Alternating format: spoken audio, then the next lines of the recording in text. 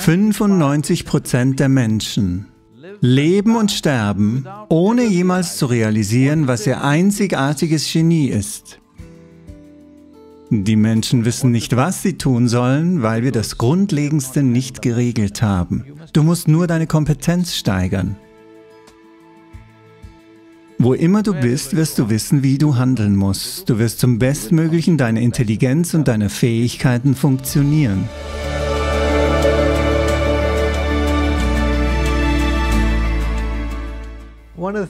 Eines der Dinge, die jemand, den wir tatsächlich erst vor ein paar Wochen getroffen haben, den Dekan der Harvard Business School, zu mir gesagt hat, wir haben über Führung gesprochen und er teilte seine Philosophie über Führung als Dekan einer bedeutenden Wirtschaftsschule und er sagte in etwa, für mich geht es um Wissen, Handeln, Sein, ein echtes Wissen und Expertise zu haben, um zu führen, dementsprechend zu handeln und dann jeden Tag so zu leben. Und eine Sache, die, wie ich denke, das Erstaunlichste an Sadhgurus Reise gewesen ist, sind die Handlungen, die er unternommen hat. Ihr habt einige der Programme da oben gesehen, aber vielleicht kannst du einige der Dinge beschreiben, die du in der Welt am Laufen hast, denn es geht nicht nur darum zu kommen und zu reden und sich zu treffen und zu philosophieren. Es geht eigentlich darum zu handeln. Also vielleicht kannst du uns ein paar Dinge erzählen, die du auf der ganzen Welt am Laufen hast und wo du die Ressourcen dafür herbekommst. Wenn wir Sein sagen, sprechen wir über die fundamentale Natur unserer Existenz. Die Qualität unserer Existenz wird die Qualität unserer Wahrnehmung bestimmen. Und die Qualität unserer Wahrnehmung wird die Qualität dessen bestimmen, was wir wissen und was wir nicht wissen. Handlung ist eine Konsequenz davon. Wenn man es auf den Kopf stellt, dann ist es wie zu sagen, Frucht, Baum, Wurzel, Erde. So funktioniert es nicht. Boden, Wurzel, Baum und dann die Frucht. Wenn du es auf den Kopf stellst, magst du etwas gewaltsam herausziehen. Aber der Schaden ist da. Heute, ich, ich, ich arbeite mit einer ganzen Menge von Wirtschaftsführern in der Welt sowohl in Indien als auch außerhalb. Ich möchte das nicht verallgemeinern, aber ich würde sagen, zumindest 60 bis 70 Prozent von ihnen, bis sie 45 geworden sind, sind sie ernsthaft geschädigt. In vielerlei Hinsicht. Entweder sind sie emotional erdrückt wegen ihrer einer bestimmten Art von Tätigkeit oder Viele von ihnen leiden unter verschiedenen Arten von körperlichen Beschwerden, was im Grunde ihrer Meinung nach eine natürliche Konsequenz der Art von Arbeit ist, die sie tun, weil sie Dinge gewaltsam tun. Wenn du die natürliche Ordnung der Dinge nicht verstehst, wie das Leben erblüht, wenn du die Frucht zuerst willst, vor dem Baum, dann muss man natürlich mit Gewalt vorgehen. Wenn du Dinge gewaltsam tust, wird vielleicht eine Sache erreicht, aber der Rest ist beschädigt. Die meisten wohlhabenden Gesellschaften in der Welt, überall, nicht nur hier, machen das durch. Sie sind wohlhabend geworden, aber die Idee, die fundamentale Idee, Wohlstand anzustreben, sei es im individuellen Leben oder in einer Gesellschaft oder in einer Nation, ist, dass es uns eine Auswahl gibt, im Wesentlichen an Ernährung und Lebensstil. Das ist der Grund, warum Menschen nach Wohlstand streben, sodass es uns eine riesige Auswahl an Ernährung und Lebensstil gibt. Nun, wenn du dir das Leben der Menschen anschaust, ist diese Auswahl nichts, das sie genießen. Diese Auswahl macht sie lediglich verrückt. Die Menschen wissen nicht, was sie essen sollen. Die Menschen wissen nicht, was sie tun sollen, weil wir das Fundamentalste nicht geregelt haben. Wir wollen auf der Rennstrecke sein, aber wir wollen keine Maschine dafür bauen. Wir wollen nur gewinnen. Niemand gewinnt ein Rennen, weil er es sich wünscht. Wer wünscht sich nicht den Sieg? Jeder tut es. Aber nur die Kompetenz gewinnt am Ende.